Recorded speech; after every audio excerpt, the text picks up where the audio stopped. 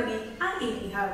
Sa nakaraang aralin ay ating tinalakay ang mga kasanayan sa pag-aaral ng contemporary issue at ang kahalagahan nito. Ating isinuri ang isang tip na may kinalaman dito. Maaari mo bang isa-isahin ang mga kasanayan sa pag-aaral ng contemporary issue? Mahusay! Ang mga kasanayan sa pag-aaral ng contemporary issue ay pagkilala at gustong paggamit ng primarya at sekundaryang sanggunian pagtukoy sa katotohanan at opinyon, pagtukoy sa pagkiling o bias, at pamuli, pagbuo ng hinuha, paglalahad at konklusyon. Bakit mahalagang pag-aralan ang contemporary issue? Tama! Mahalaga ang pag-aaral ng contemporary issue upang mapaunlad at mahasa ang ating mga kasanayan.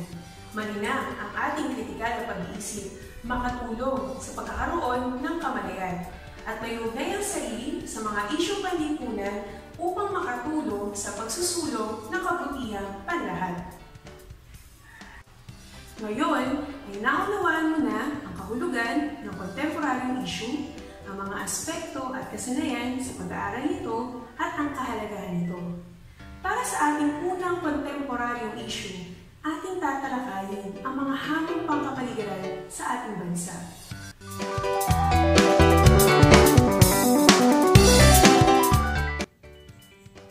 Sa araling ito, ating tatalakayin ang kasalukuyang kalagayang pangkapaligiran ng Pilipinas. Ating ding tatayain ang kalagayang pangkapaligiran ng bansa batay sa epekto at pagtugon sa mga hamong pangkapaligiran.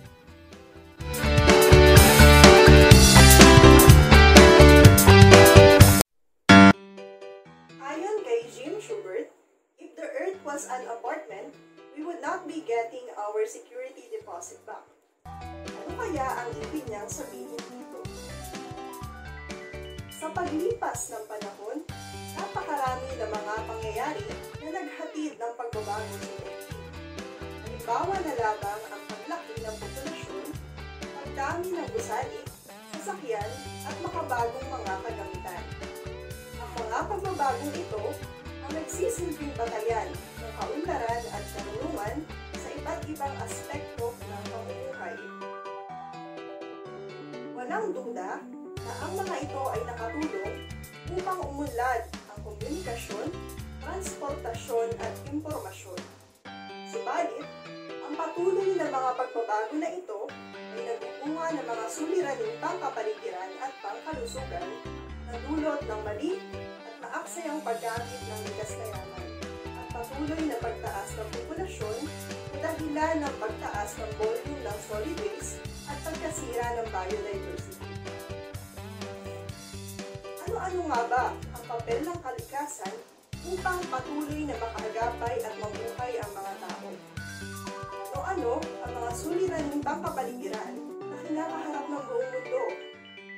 Ano ang papel na iyong ginagampanan upang masolusyonan ang mga suliraning pangkapaligiran. Para masagot ang mga katanungan ito, tutulungan tayo ng mga AB Hub educators na sisimulan ni Miss Irish. Isa sa kalimitan at matagal ng suliranin ng ating bansa ay ang patuloy na pagtaas ng volume ng solid waste. Ayon sa Republic Act 9003 o Ecological Solid Waste Management Act of 2000, ang solid waste ay tumutukoy sa basurang nagmumula sa mga tahanan, komersyal na establishmento at sektor ng agrikultura, mga kalat na may kita sa mga daan, debris mula sa mga construction sites at mga basurang hindi nakakalason. Sa ulat ng Senate Economic Planning Office o SEPO noong 2017, Isinasaad nito na ang basurang nilikha sa ating bansa ay tumaas mula 2012 hanggang 2016. Noong 2012, ang ating bansa ay nakalikha ng 37,427.46 tons na solid waste habang 40,087.45 tons naman noong 2016. Sa National Capital Region na iulat na nagmula ang 25% nakabuo ang solid waste na nakolekta sa ating bansa. Sa datos na ito, lumalabas na ang bawat tao ay nakakalikha ng 0.7 kilong basura kada araw ayon sa datos ng National Solid Waste Management noong 2016. Inaasahan din na sa pagsapit ng 2025, aabot sa 77,776 tons ang solid waste na makokolekta mula sa mga lungsod sa Pilipinas. Batay pa rin sa ulat ng SEPO noong 2017, 57% ng solid waste ay mula sa mga tahanan, habang 27% ang nagmumula sa commercial establishments, 12% ay mula sa mga institusyon tulad ng gusaling pampamahalaan at simbahan, at 4% ay mula sa industrial o manufacturing sectors. Ang RA 9003 ay itinadhana noong 2002 upang tugunan ang patuloy na paglaki ng volume ng solid waste sa Pilipinas. Binigyan diin sa batas na ito ang tungkulin ng mga LGU sa pamamahala ng solid waste sa pamamagitan ng pagpapatupad ng sistematikong pangongolekta ng basura, paglulunsad ng segregation, recycling at composting activities upang mapababa ang mga solid waste na dadalhin at mapupunta sa mga sanitary landfills. Upang maisakatuparan ito, ang LGU ay kinakailangang bumuo ng isang komprehensibong solid waste management plan, magbuo ng solid waste management board mula sa provincial o city level hanggang barangay level at magtayo ng mga material recovery facilities.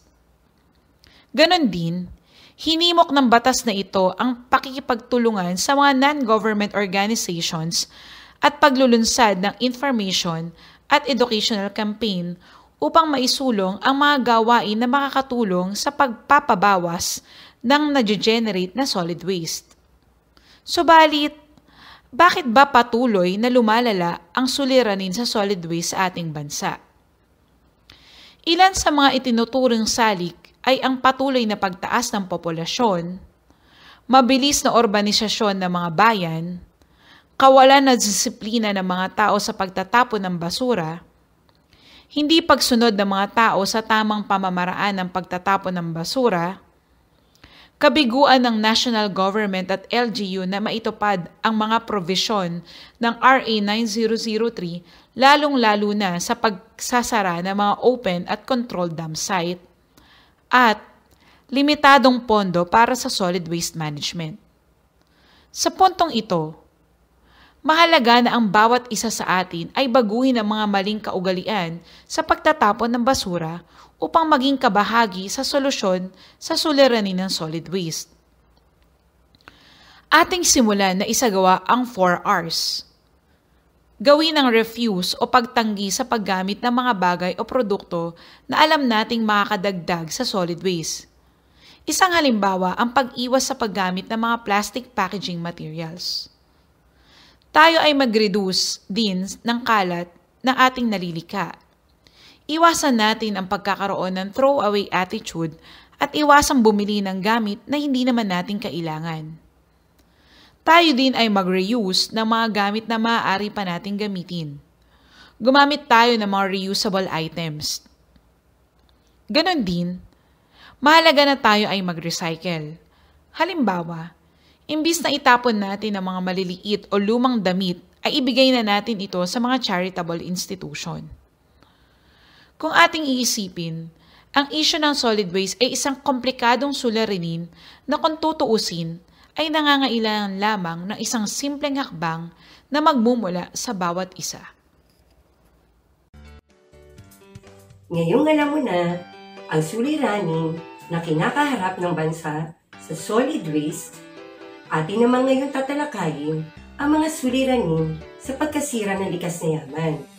Sa tulong ni na Ma'am Jade at Ma'am Jane.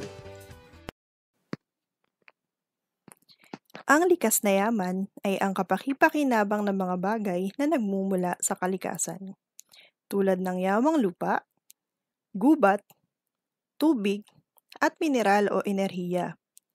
Dahil sa patuloy na paglala ng climate change dulot ng mga natural at anthropogenic factor o gawain ng tao, unti-unti itong nauubos na nagiging dahilan din ng pagkasira ng biodiversity. Ano ba ang biodiversity? Ang biodiversity ay ang dami, pagkakaiba-iba at pagiging natatangi ng mga halaman, hayop at microorganism sa mundo. Sakop din ito ang mga ecosystem o ang interaksyon sa kapaligiran ng mga bagay na nabubuhay o biotic factor at hindi nabubuhay o abiotic factor, nakakikitaan ng siklo ng pagdaloy ng pagkain at enerhiya katulad sa bukirin, kagubatan, ilog at karagatan. Mahalaga ang biodiversity dahil ito ang nagbabalanse sa kalikasan. Ang patuloy na pagkasira ng mga likas na yaman ay nagdudulot ng unti-unting pagkawala ng mga species sa mundo. Batay sa International Union for Conservation of Nature's Red List of Threatened Species, 41% of amphibians, 25% of mammals, 34% of conifers, 13% of birds, 31% of sharks and rays, 33% of reef-building corals, and 27% of crustaceans ay nanganganib ng tuluyang mawala sa buong mundo.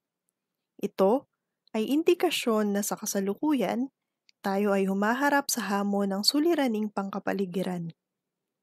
Umpisahan natin sa suliranin sa yamang gubat o deforestation.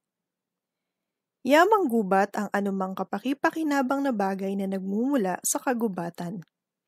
Halimbawa nito ay ang orchids, mosses, at mga punong kahoy na tumutulong upang maiwasan ang erosion o pagguho ng lupa. Ang mga ito ay nakatutulong sa pagpapanatili ng balanse ng kalikasan. Kung mawawala ang mga puno sa kagubatan, mawawala ng tirahan at pinagmumula ng pagkain ang mga hayop dito. Lalala ang nararanasang pagbaha at pagguho ng lupa dahil wala nang sisipsip ng tubig ulan na maaaring magdulot ng pinsala sa buhay at kabuhayan ng mga tao. Ayon sa datos ng International Tree Foundation, mula 2004 hanggang 2020, mula sa orihinal na sukat ng kagubatan, 20% na lamang ang natitira sa mundo. Ito ay bunga ng patuloy na pagputol ng mga puno upang gawing panggatong at tirahan. Ang patuloy na pagkakalbo at pagunti ng bilang ng mga kagubatan sa mundo ay tinatawag na deforestation. Ang sumusunod ay mga dahilan ng deforestation ayon sa ulat ng Status of Philippine Forest noong 2013. Una, illegal logging o illegal na pagputol ng mga puno sa kagubatan. Sa ulat ng United Nations Environment Program, 20 to 40% ng troso sa buong mundo ay bunga ng illegal logging. Ikalawa, paglaki ng populasyon, migrasyon o paglipat ng mga tao ng tirahan at pagsasagawa ng kaingin o slash and burn system. Ayon sa World Population Clock noong 2020, tinatayang umaabot ng 81 million ang itinataas ng kabuuang populasyon taon-taon. Ang paglaki ng populasyon at migrasyon ay nagpapataas ng demand sa pagkain, fuel, trabaho at tirahan. Upang matugunan ang mga pangangailangang ito, nagsasagawa ng land conversion na nagdudulot ng pagkakalbo ng mga kagubatan. At ikatlo, pagmimina o pagpuputol ng mga puno at paghuhukay upang makahanap ng ginto o iba pang yamang mineral. Taong 2017, nang iutos ng dating kalihim ng Department of Environment and Natural Resources na si Gina Lopez na ipasara ang 23 na malalaking industriya ng minahan at anim ang ipinasuspinde mula sa 41 large-scale mining sa bansa matapos ang isinagawang mining audit ng ahensya. Labinlima sa mga minahang ito ay malapit o nasa loob mismo ng mga functional watershed na itinuturing na paglabag sa Environment Compliance Certificate o ECC na nagtatakda ng mga kondisyon na kinakailangang sundin ng mga kumpanya ng minahan upang maiwasan ang negatibong epekto sa kapaligiran ng pagmimina. Kakikitaan rin ng pagdumi, pagkasira, at unti-unting pagkaubos ang yamang tubig. Ang yamang tubig ay ang mga bagay o yaman na nagmumula sa mga anyong tubig. Halimbawa nito ay isda, korales, perlas, at iba pang yaman na nagmumula sa tubig. Mahalaga ang mga yamang ito dahil ito ang pinagmumula ng pagkain at kabuhayan. Sa kasalukuyan, ang ating yaman tubig ay humaharap sa hamon ng pagkasira at paglalaho dahil sa sumusunod na mga dahilan.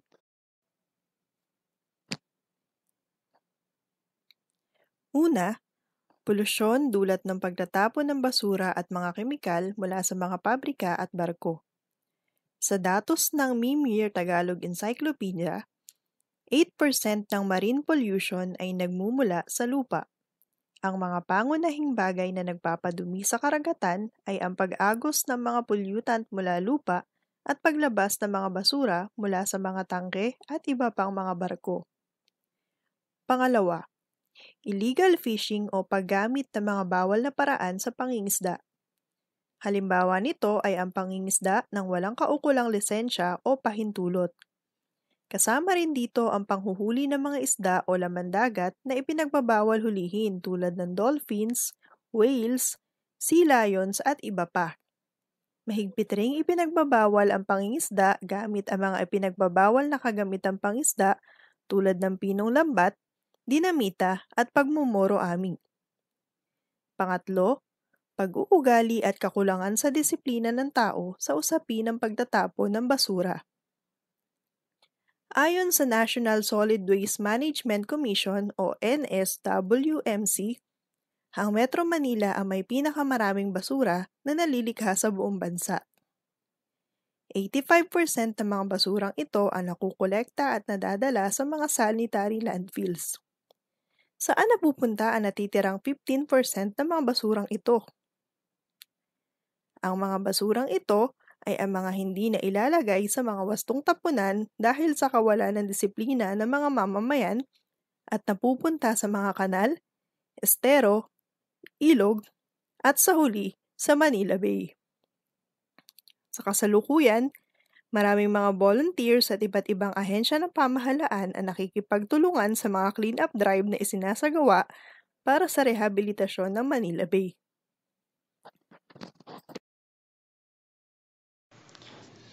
Bukod sa yamang gubat at yamang tubig, humaharap din ang bansa sa hamon ng pagkaubos ng mga yamang mineral at enerhiya. Ang yamang mineral ay ang mga yamang nakukuha mula sa kailaliman ng lupa. Halimbawa nito ay ginto, bakal, nikel, at iba pa. Ang yamang enerhiya naman ay tumutukoy sa lakas na ginagamit upang mapagana o mapatakbo ang iba't ibang industriya. Isa sa halimbawa nito ay kuryente o elektrisidad na ginagamit sa mga pabrika, paaralan, gusali at iba pa. Ang mga yamang ito ay maituturing na isa sa pinakamahalagang sangkap sa paggawa ng mga produkto at serbisyo na makatutugon sa pangangailangan ng mga tao. Ibig sabihin, mayroong malaking posibilidad na maubos ang mga ito kapag mali, labis, at maaksaya ang pamamaraan ng paggamit nito. Upang hindi mangyari ang pagkaubos nito, may mga pamamaraan na ginagawa tulad na lamang ng paggamit ng mga solar panel mula sa solar energy o enerhiya mula sa araw. Isang halimbawa nito ay ang Kalatagan Solar Farm sa Batangas na ginamitan ng rooftop solar power plants na binuo ng Solar Philippines. Ginagamit din ang hydropower energy o enerhiya gamit ang tubig, tulad ng paggamit ng hydroelectric power plants sa Luzon at Mindanao. Ang isa sa may pinakamalaking hydroelectric power plant ay ang Angat Dam sa Bulacan na nagsusupply ng tubig sa Metro Manila at mga karatig probinsya nito. Ginagamit din ang geothermal energy o enerhiya mula sa init sa ilalim ng lupa. Mayroong anim na geothermal field sa bansa na matatagpuan sa Luzon, Negros, Mindanao, at Leyte na kauna-unahang gumamit ng geothermal power plant sa bansa.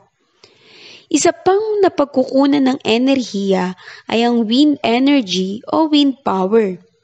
Ito ay nagmumula sa hangin na lumilikha ng elektrisidad gamit ang mga wind turbines. Isang halimbawa nito ay ang Bangi Windmills sa Ilocos Norte. At ang huli ay ang nuclear energy mula sa mga nuclear power plant. Ang kauna-unahan at nag-iisang nuclear power plant sa Pilipinas ay matatagpuan sa Bataan. Sa kasalukuyan, ito ay pinag-uusapan dahil sa kautusan ng ating Pangulo na magsagawa ng pag-aaral sa posibilidad na paggamit nito sa power generation mix ng Pilipinas.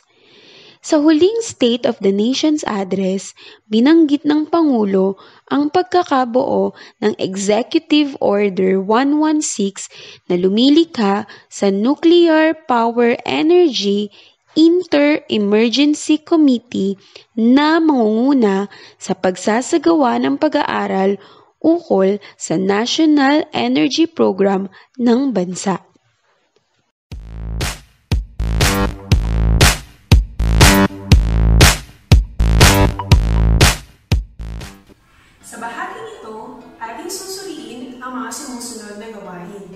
Itaas ang like sign kung ito nagpapakita ng pangangalaga sa ating kapaligiran at dislike sign kung nakapagpapalala ito ng mga suliraning pangkapaligiran.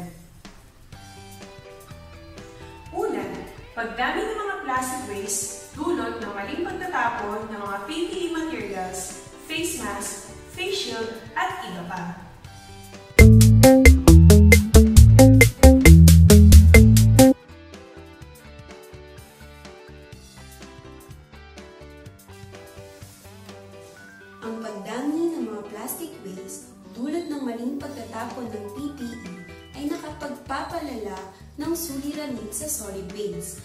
Dahil nadudulot ito ng pagkalaso ng kapaligiran, pagkawala ng bitamina ng lupa, at pagdumi ng tubig. Ikalawa, paglaki ng mga mangingisda gamit ang mga pinong lambat.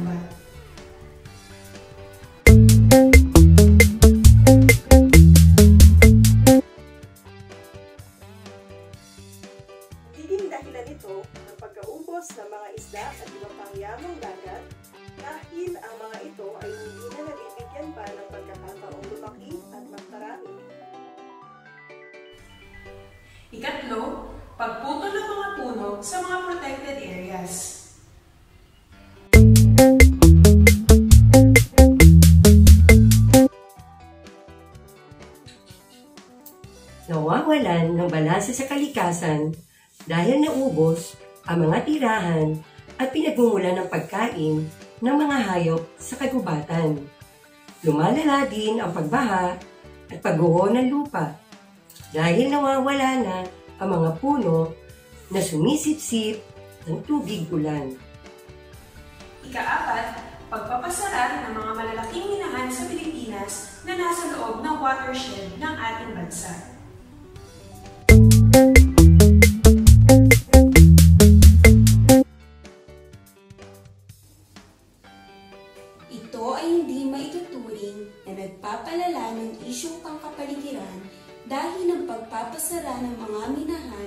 Sa loob ng watershed ay nakatutulong upang hindi malaso ng tubig, maiwasan ang pagbuho ng lupa at tuluyang pagkasira ng balanse ng kalikasan.